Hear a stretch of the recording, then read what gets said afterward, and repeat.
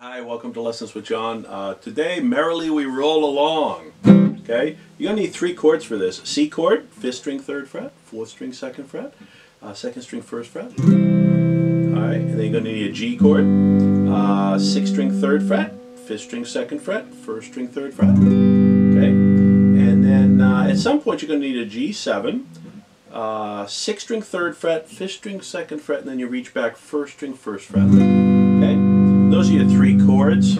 Um, you could substitute. You could use G or G7 uh, either time. If you if you only want to do two chords, you could do it that way too.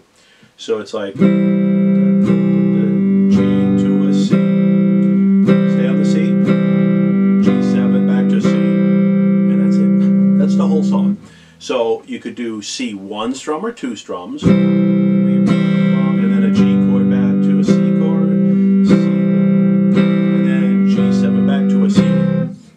That's it.